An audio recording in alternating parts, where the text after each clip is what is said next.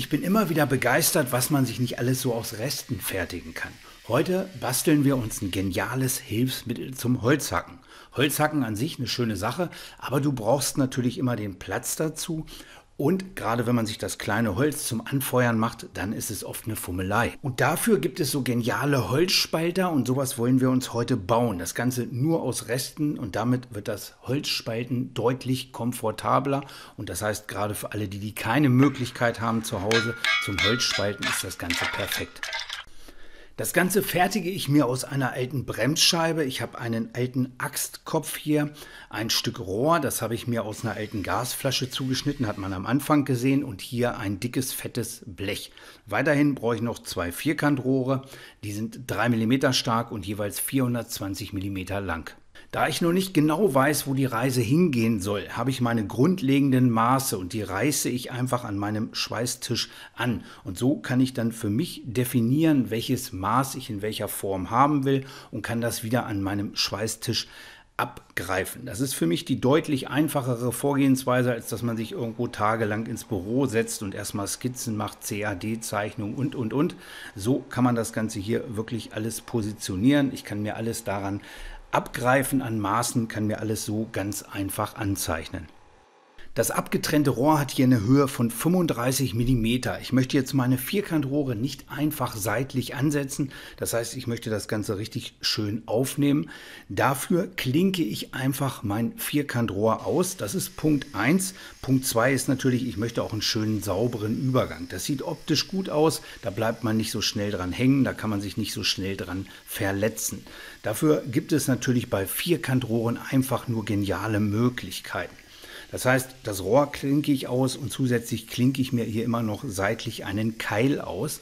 Und dann kann ich das Ganze einfach mit dem Hammer rumkloppen und kann das Ganze heften, verschweißen, verschleifen und dann sieht das optisch wirklich toll aus. Und mein Rohr wird hier wirklich in dieser Aufnahme perfekt aufgenommen. Ihr werdet hinterher sehen, wie das alles sich zusammenfindet.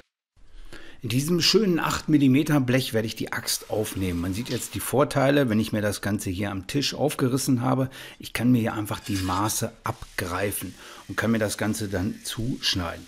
Das könnte ich mit dem Plasmaschneider natürlich auch machen. Winkelschleifer mit einer Trennscheibe finde ich in der Variante deutlich besser. Einmal entgraten und man hat da wirklich ein sehr schönes Ergebnis. Beim Plasmaschneiden muss man meistens immer nochmal das Ganze nachschleifen. Das kostet immer deutlich mehr Zeit.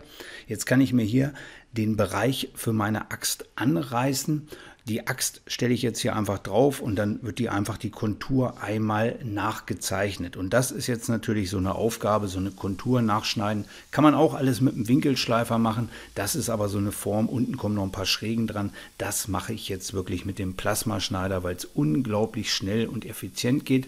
Hinterher das Ganze einmal nachschleifen und meine Axt sitzt perfekt in diesem Blech drin.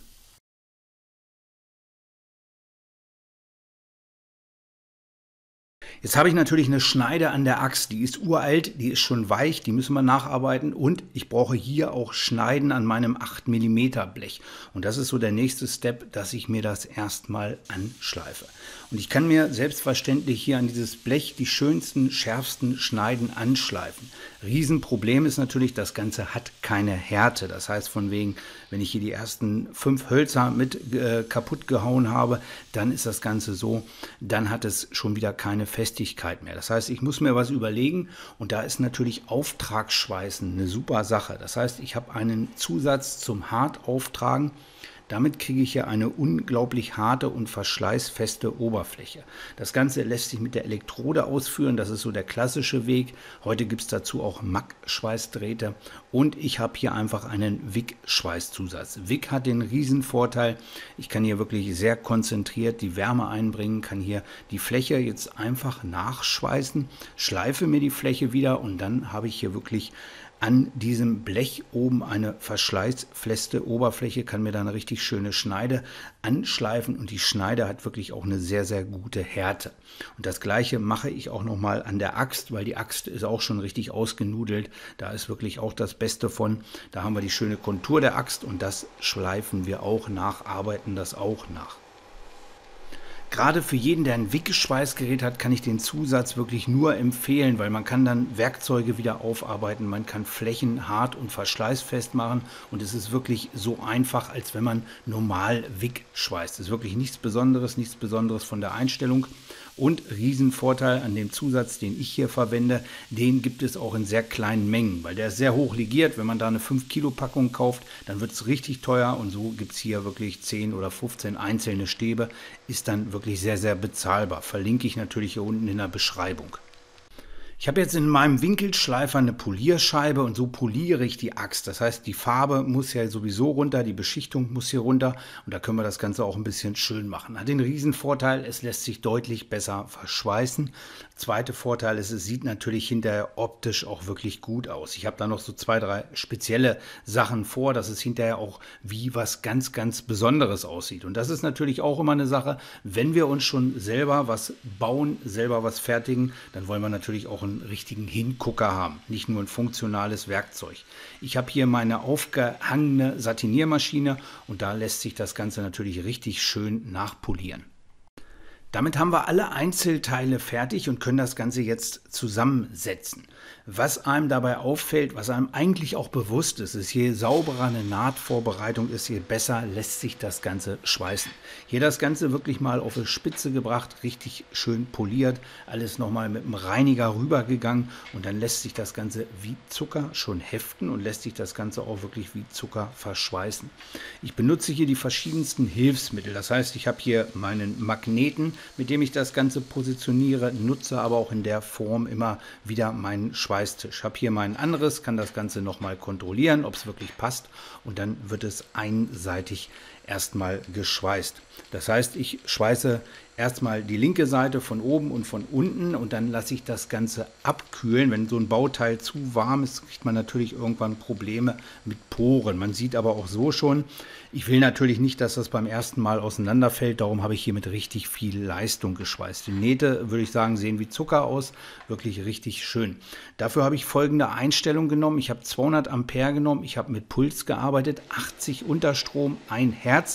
Das heißt, einen schönen langsamen Puls, wo die Energie auch immer wieder rausgeht, die Energie aber auch immer wieder reinkommt, um den Werkstoff wirklich richtig tief und vernünftig aufzuschmelzen.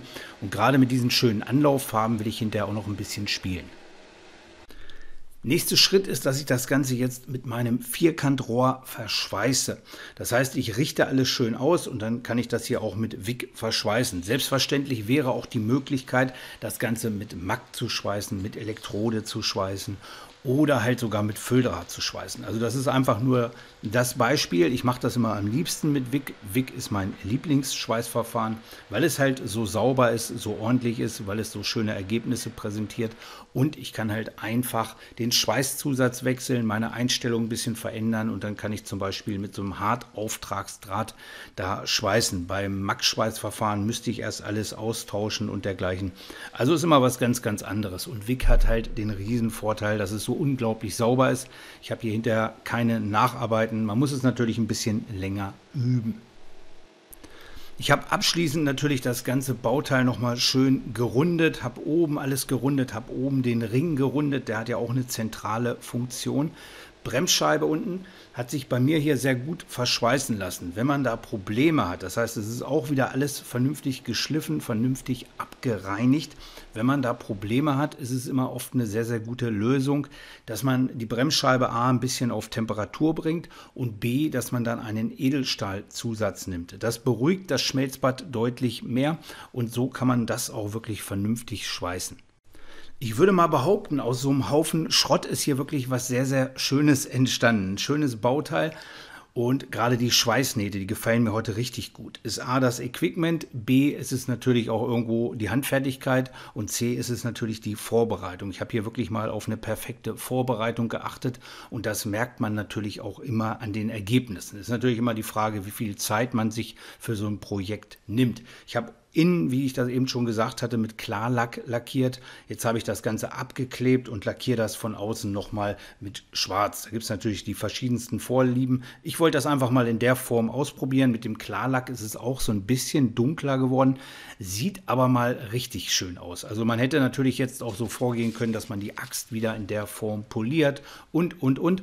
Ist ganz einfach mal so ein kleines Schrottprojekt, was glaube ich sehr schön geworden ist und auf jeden Fall auch sehr funktional. So, ich werde jetzt ein bisschen Holz hacken, werde da ein bisschen mit rumspielen, ein bisschen mit rumexperimentieren. Ich freue mich über eure Kommentare, ich freue mich über euer Feedback. Hat euch das gefallen in der Form?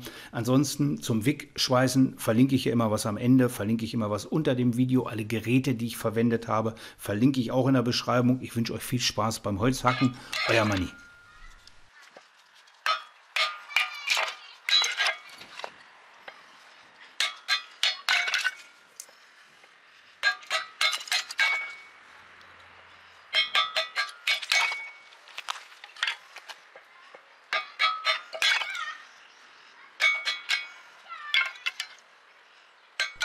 Ich glaube, man sieht schon an diesem kurzen Versuch, wie gut das Ganze funktioniert. Also es ist wirklich der absolute Hammer, macht richtig Spaß. Man hat innerhalb von kürzester Zeit eine Menge Kleinholz. Also funktioniert super. Riesenvorteil ist hier wirklich, der hat durch die große Bremsscheibe auch eine vernünftige Standfestigkeit. Das heißt, den kann ich überall hinstellen und den kann ich auch jederzeit problemlos wieder wegräumen. So, ich wünsche euch viel Spaß beim Holzhacken. Bis dann.